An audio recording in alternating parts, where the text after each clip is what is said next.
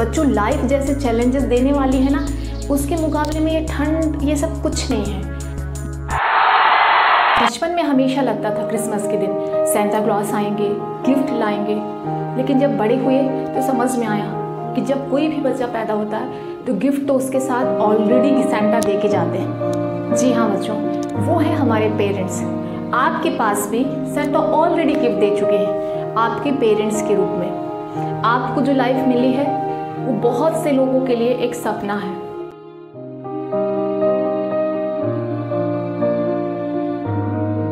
और आपको अपनी लाइफ का सेंटा खुद बनना है। अपनी लाइफ का हीरो खुद बनना है। खुद लिखनी है अपनी तकदीर हार्ड वर्क से और मेहनत से। अब इस समय जब इतनी ठंड है तो बहुत से बच्चों को प्रॉब्लम होती है, बहुत से बच्चों को परेशानियाँ होती हैं कि कैसे पढ़ें।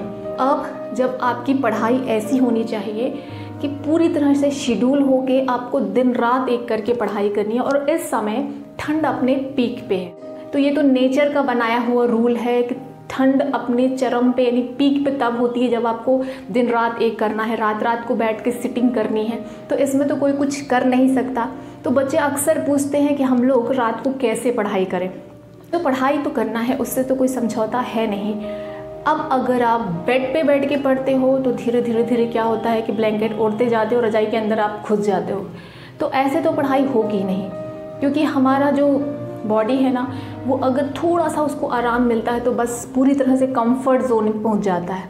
तो ऐसे तो एक दिन होगा। और कई बार क्या होता है हम लोग सोच लेते हैं कि हम लोग कल से पढ़ाई शुरू करेंगे। आज सो जाती हूँ मैं या आज सो जाता हूँ कल से पढ़ाई शुरू करें तो अगर ऐसे कर कर के एक एक दिन जाते रहे तब तो, तो पूरी ठंड चली जाएगी। ऐसे ही ठंड जाती है एग्ज़ाम स्टार्ट हो जाते हैं तो यानी ये ठंड ही है जब आपको पढ़ाई करनी है। तो बच्चों अब पॉइंट में आते हैं कि आखिर पढ़ाई कैसे की जाए इन दो लास्ट टू मंथ्स में। नंबर वन मेंटली प्रिपेयर हो जाओ कि इस ठंड में ही पढ़ाई करनी है।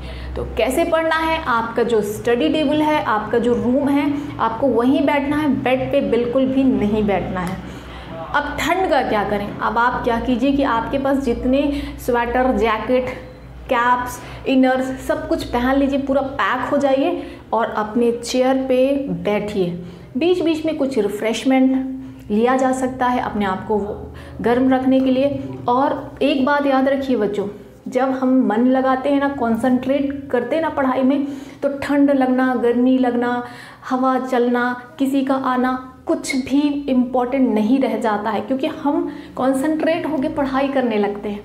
तो कहने का मेरा मतलब ये है कि अपने दिमाग को ठंड लग रही है, इससे हटा के पढ़ाई में लगाइए तो आप पढ़ सकते हैं। डेफिनेटली पढ़ सकते हैं। एक एक दो दो घंटे की सिटिंग बनाइए, दो घंटे में इतना टॉपिक करना है और उसे कंप्लीट ही कर लीजिए। तो रात को पढ़िए या सुबह जल्दी उठिए, पर ठंड का मुकाबला तो करना ही होगा। तो all the best to all of you and wish you all very happy Christmas thank you